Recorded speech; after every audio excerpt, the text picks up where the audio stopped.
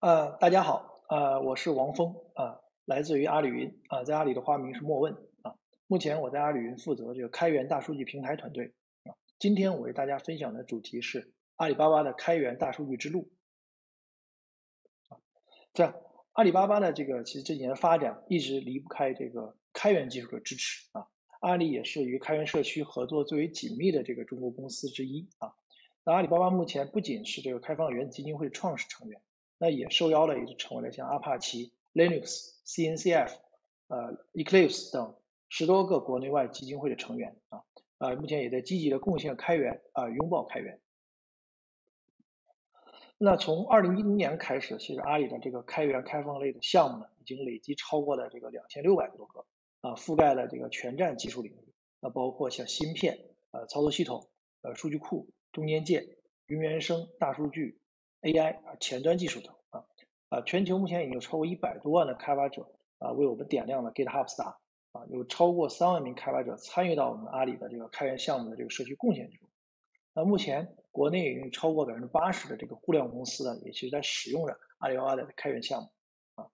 目前阿里已经向这个开源基金会或者开源社区呢捐赠或者孵化了十五个明星项目，呃，这里边像比较这个著名的有像。啊，阿帕奇的 Rocket MQ 啊，阿帕奇的 Double 等，这都是由阿里巴巴捐赠并持续维护的，已经成为了这个阿帕奇基金会的顶级开源项目。那像阿帕奇的这个 Flink，目前也是这个在阿帕奇这个呃社区中大数据项目中啊最活跃的一个项目。那目前有有超过将近四分之一的这个 Committer，这个阿帕奇 Flink Committer 是由阿里巴巴培养出来的啊。阿里巴巴也在积极的推进这个 Flink 社区的这个发展。那在二零一九年的时候，阿里巴巴就成立了开源技术委员会啊，那由这个阿里云智能计算平台事业部总经理啊蒋文清来担任我们这个阿里开源技术委员会的这个总负责人啊。因此，从这个时候开始呢，阿这个开源呢，其实已经正式成为了这个也升级成为了阿里阿里巴巴技术这个核心战略的一部分啊。那面向未来呢，阿里将重点呢其实聚焦在基础软件的这个开源上面啊，例如今年的二零二一年，我们将阿里集团两个非常核心的这个数据库技术，像 OceanBase 和呃 PolarDB 和 PG 这两个核心的数据库进行了一个开源。那相信未来的我们还有很多这个呃项目都会走在这个开源道路之上。那提到这个开源，其实呢，啊我们就不能不提这个一个大数据这个技术，因为大数据技术不仅是这个阿里巴巴的这个核心的一个技术体系啊，同时也是阿里巴巴在开源的这个战略路线上的一个非常重要的一个场景啊。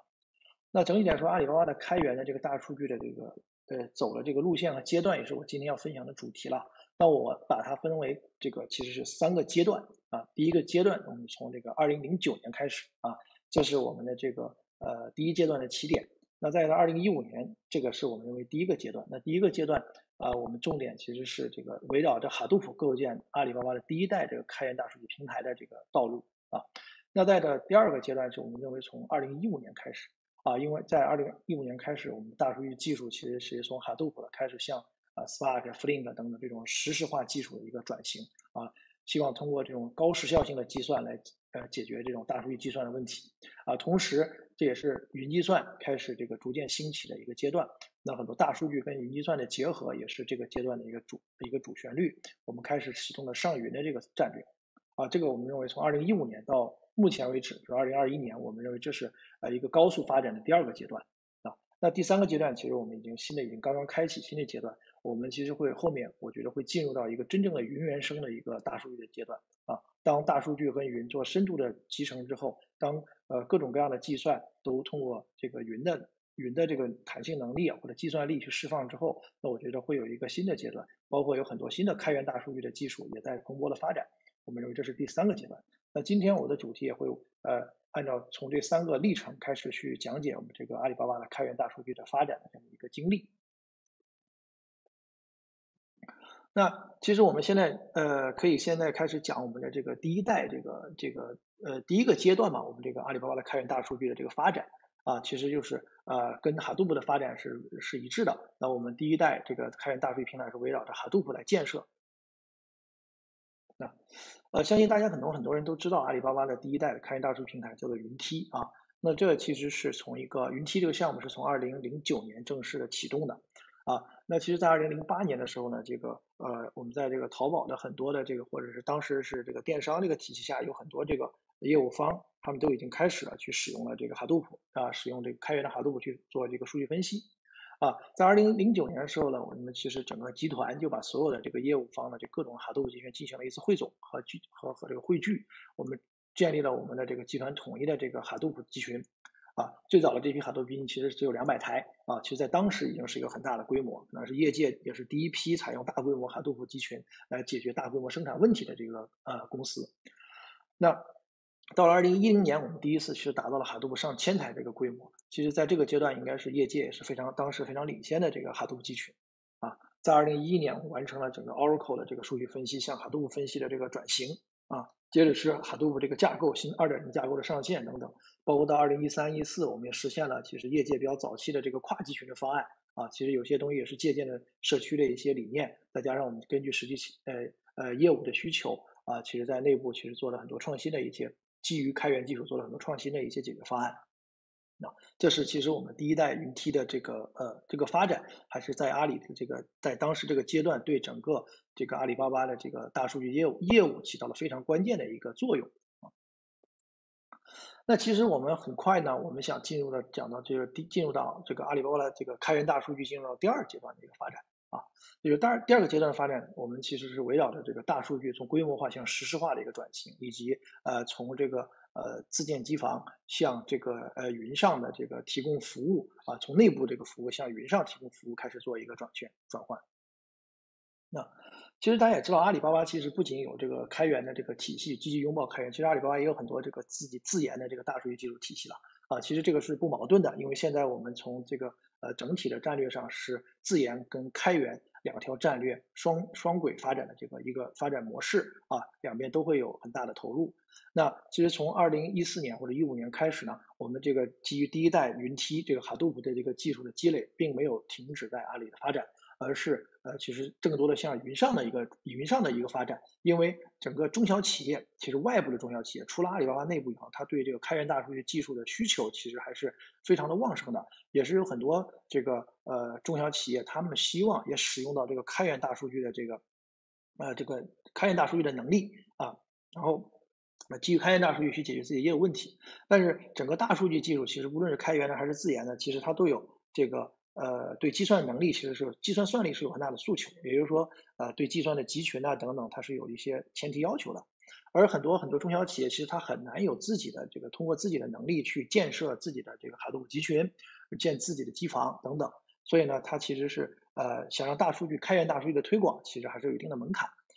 而但是云计算其实天然其实可以解决这个问题，因为云计算天然它就是提供这种大规模弹性计算能力啊，可以让用户按需使用这么一个效果啊，所以说当这个大数据跟云计算呃结合起来以后，其实我们在云上可以提供这种开源大数据的解决方案给这种中小企业，让中小企业可以非常。呃，非常一个很基础的中小企业，可能它不需要自建集群，自己有很多专业的这个大数据的维护的一些呃人才，它就可以去把这个大数据的场景呃运转起来啊。所以我们在云上呃推出了这个我们的 ERM EMAPReduce 这个云上的 Hadoop 大数据平台啊。经过了这个从二零一六年开始这个这个第一次上线呢，经过了五年的发展，其实现在已经得到了这个云上客户非常多的这个呃使用啊。从开从早期的这个呃离线的这个 Hadoop 的计算。到我们实时的这种交互式的计算，不基于消息队列啊，包括是呃 Flink 呀、呃卡夫卡呀、Spark 呀等等这些技术不断的演进和发展，我们在云上推出了非常多的这个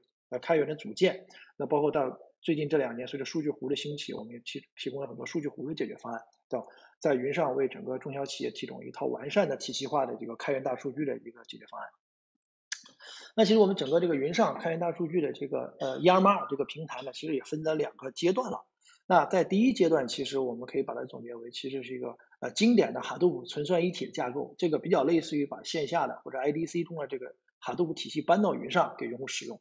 啊，也就是说我们在云上把整个 Hadoop 体系部署到这个云主机上面，啊，就是通过这个云的资源的弹性来解决这个呃或者是便利性来解决这个快速的用户搭建起云上的这个开源大数据平台，啊，但是这个平台其实它还是有一定天然的这个架构的一种缺陷和不足吧，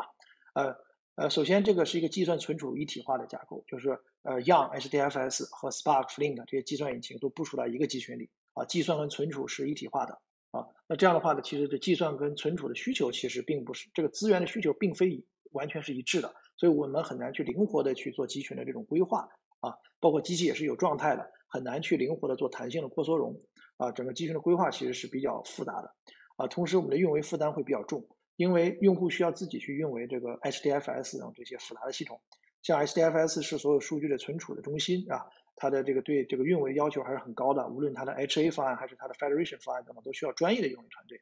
啊，并不是每家中小企业都可以去运维的，包括它的影响范围是很大的，一旦出了故障，数据可能就会出现面临很大的风险。啊，包括它的坏盘率啊也是很高的，这个其实对用户来说是非常大的一个运维负担。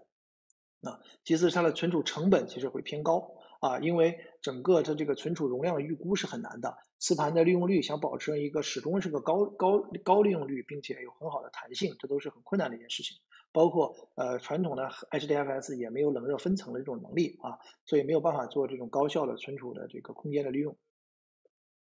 那其实很快我们其实是呃进入到了这个呃二点零时代啊，二点零时代其实是说我们认为是说这个云上的这个开源的 Hadoop 的架构。呃，其实发生了一个很大的一个升级啊。首先，它是一个存算分离的架构啊。第二，是我们引入了更多数据湖的这个体系啊，来解决这个这个云上开源大数据的一些呃问题啊。这种存算分离的架构是将这个好像我们的计算引擎，像 Spark 呀、Flink 呀、Hive 等等，和我们的这个呃存储系统进行了一个解耦啊。我们这个呃计算是运行在专门的计算的机器上。啊，这些机器是无状态的，它可以根据用户的这个资这个业务需求进行弹性的这个快速的弹性扩缩容，啊，保证一个很高的利用率。那同时，我们将数据存储在我们的云上的这个云原生的对象存储上，呃，利用对象存储的这种呃廉价的特性或者大规模弹性的效果去解决用户数据存储的问题。啊啊，因为 OSS 啊或者像亚马逊的 S3 呢等等这些呃对象存储，其实它们本身就是一个云原生的，它们是免运维的，而且是后台保证了高可用。啊，同时是可以弹性使用，按量付费，总成本总 TCO 是会偏低啊。同时，他们有这种冷热分层啊这种能力，智能化的这种数据分层能力，可以让你整个数据的存储更加的高效啊。呃，这种存算分离的架构其实是更灵活、更容易规划啊。同时，是我们在这个存算分离上面也引入了这种新一代的数据湖的存储格式，像像阿帕奇的 Hudi、阿帕奇的 Iceberg，还有像 DataBricks 推出的 Delta Lake 等等这些新一代的湖仓一体的架构。啊，可以是加速整个现代数据库架构的这个发展，啊，但是存算一体呢，它也有它的一个不足之处，就是计算存储分离之后，它带来的这种带宽的消耗或者是性能的损耗，啊，因此所以说像开源社区里也有很多做这种呃加速文件访问加速、元数据访问加速的这种开源项目，像 JuiceFS、像 Alexio 等这些。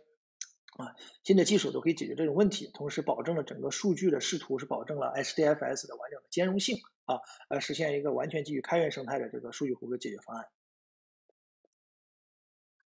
那我们可以看一下，其实，在我们这个在阿里的这个大呃开源的大数据的体系中，我们也提供了一个比较完全基于开源化的这个云上的数据湖的解决方案，对吧？像我们的呃传统来说，我们的数据都会存在于像呃数据库的 binlog 之中。啊，或者说我们的用户的在线日志、在线服务日志中，包括 IoT 的信息流这种，我们都可以通过卡不卡进行收集汇聚，通过 Flink 做实时的入湖。那进入到湖湖中以后，我们可以去基于用 Spark 或者 Presto 做这种数据湖的分析等等。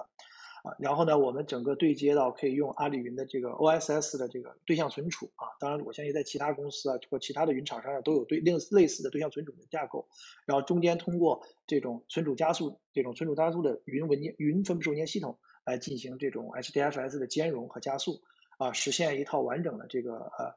开源的数据湖的解决方案。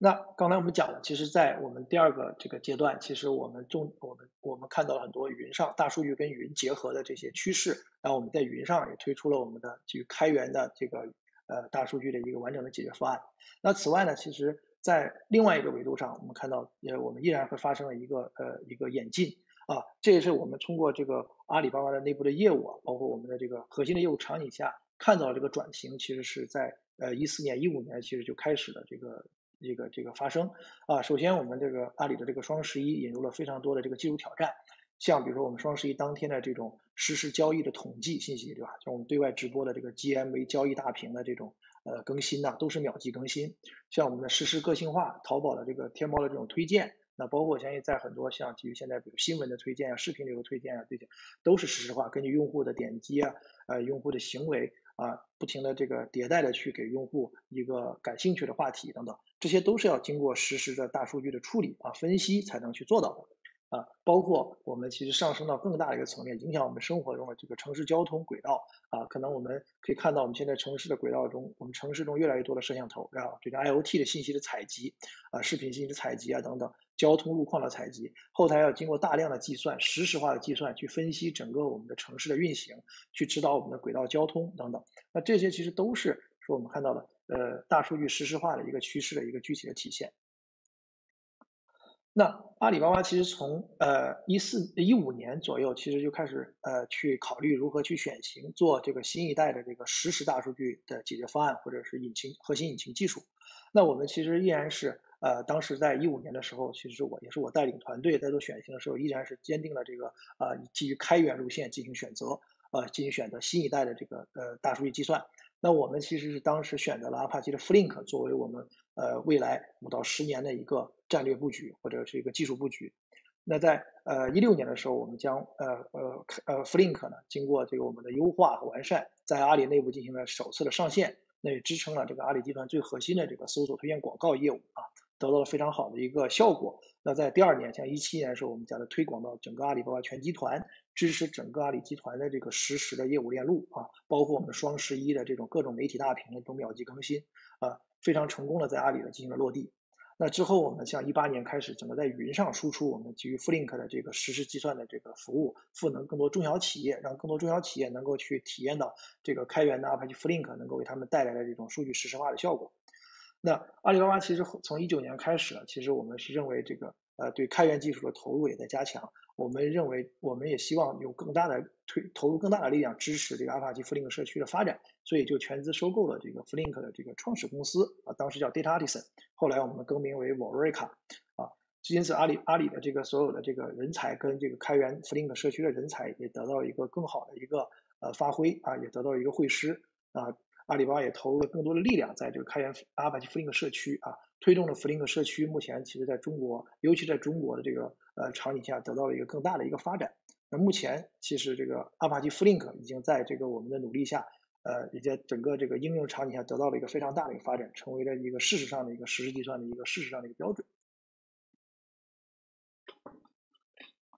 那接下来我们可以看一下这个阿帕奇 Flink 呢，其实它呃在阿里巴巴集团其实是发挥了非常大的一个作用了。那呃，我们经过这个最近这个五六年的这个发展，其实已经将阿里巴巴所有的这个数据的呃数据分析这个链路完全的实现了这个秒级实时化的这个效果。无论是我们的数据中台、我们的搜索推荐广告、我们的在线机器学习这个场景啊，我们的电商交易、我们的物流系统、我们的交通监测、我们的安全风控等等这些非常核心的场景，整个数据链路端到端实现了实时化。啊，我们通过这个呃 Flink 这个技术串呃串通了整个实时化链路啊。目前我们的这个呃基于开源的这个技术体系啊，我们的实时计算平台基于 Flink 的实时计算平台已经运行在数百万核的这个 CPU 之上，在阿里巴巴内部呢，啊有数万个这种实时的这个计算服务来支撑了这个全集团的这个呃业务的发展。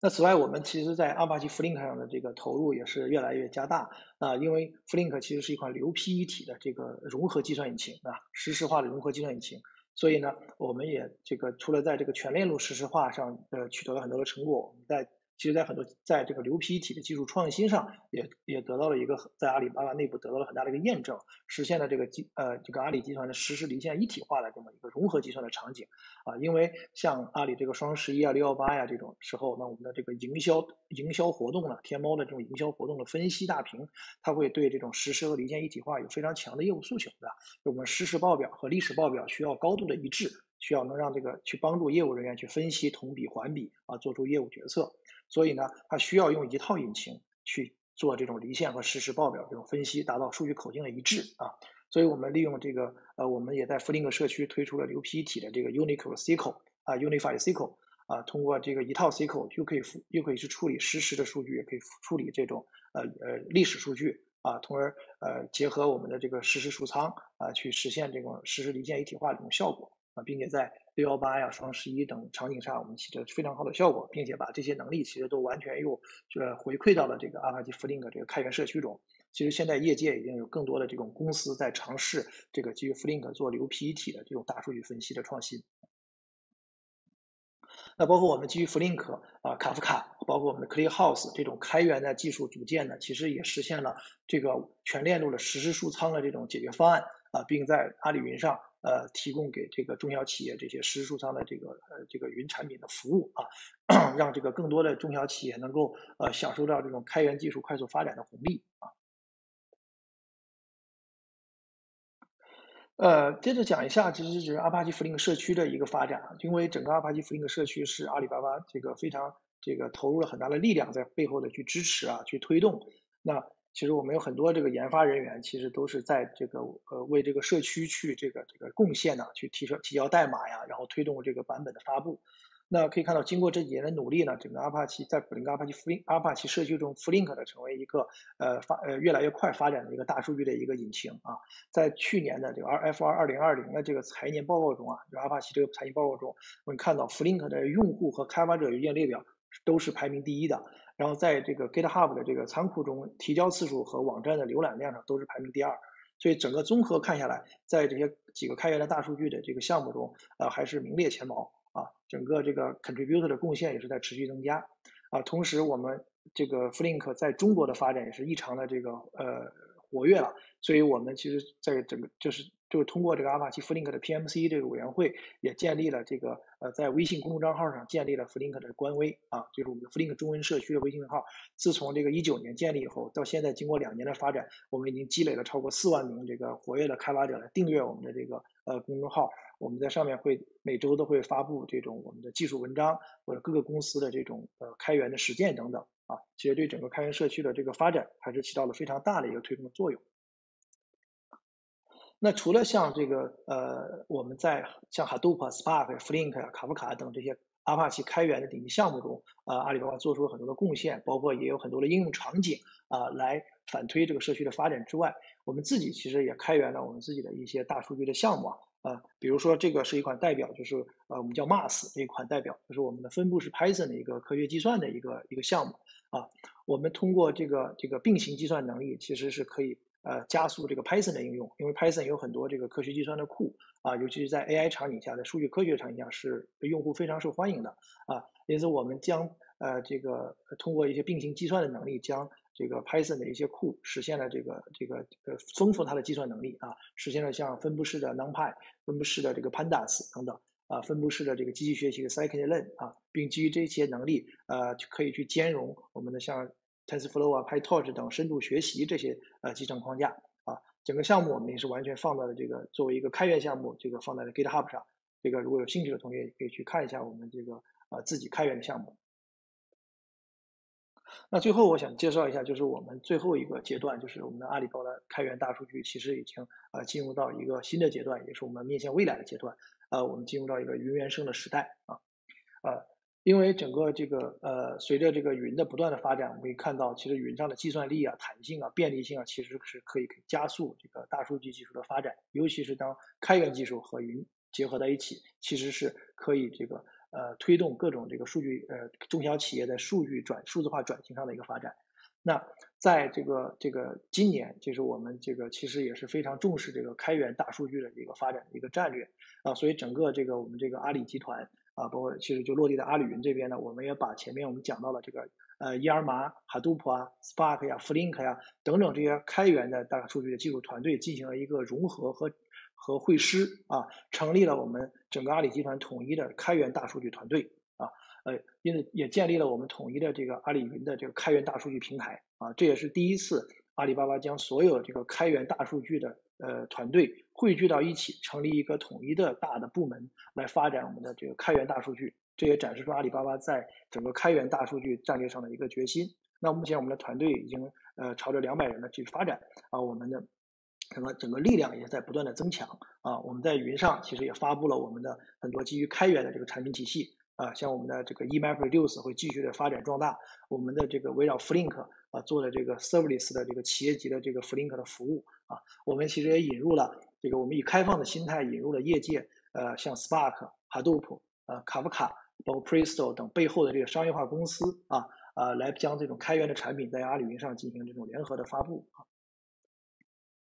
那我们目前这个开源的大数据团队，呃，已经是一个统一的这个阿里云的开源大数据团队了。也就是说，所有我们做开源的力量融合在一起，其实就会变得非常的强大。那目前我们整个团队呢，已经有超过三十名的阿帕奇顶级项目的 committer 和 PMC member，啊，包括还有四名的这个 ASF 的 member，啊，我们整个团队对超过十个阿帕奇顶级项目进行了这个非常活跃的贡献。啊，也是这个希望，呃，整个团队花了很多精力、时间啊，去推动整个阿帕奇开源大数据的这几个项目的发展。那这也是我们这个团队目前的一个核心的一个一个目标啊，不仅是呃去围绕开源大数据支持业务，呃做这个云产品，同时我们还是很长的一个呃 OKR 的目标，就是推动呃这些开源大数据社区的发展。那最后就是我们其实整个开源大数据团队未来的一个规划啊。那我们相信，呃，今年我们整个这个阿里集团呃统一了呃开源大数据团队之后，那希望我们后面我们后面一定会坚持这个开源的这个战略，呃，我们会相信这个开源的力量啊，相信这个阿帕奇的这个阿帕奇卫的这个精神啊，我们希望在更多的这个更长远的方向去发展去布局。那我们也认为整个这个大数据领域未来会朝着三个方向去发展啊，一个是说实时化。啊，一个是智能化，一个是原生化。那我们看，首先我们会认为数据朝着实时化的方向演进，这是一个已经其实是已经落地的一个事情啊。不论是数仓的实时化，数啊还是这个数据湖的实时化，还是实时离线一体化等方向，都在这个已经发生之中啊。我们很多的这个呃技术其实都已经在落地啊，无论是我们基于呃比如像 Flink 和 Spark 都已经在做流 P 一体的这种技术啊，加速数据的进展啊，包括数据湖也引入了这种新的存储格式，支持实时更新能力等等啊。那呃第二点呃是我们的这个数据智能化啊这一趴。那那智能化这块，其实我们整个数仓的全链路啊，无论是从这个呃上层的这个数据数计算引擎的这种智能的优化，还是我们的存储的这种智能化的分层，还有整个数据的调度等等啊，参数的调优啊，智能化的诊断等等，其实全链路都在呃每个环节都在这个这个加入了智能化的这种支持啊，通过这种智能化甚至 AI 的技术去提升大数据整个链路的效率。这是我们认为未来非常有前景或者非常有空间的一个发展方向。我们这个这个这个开源的技术团队也会在这方面去进行完善。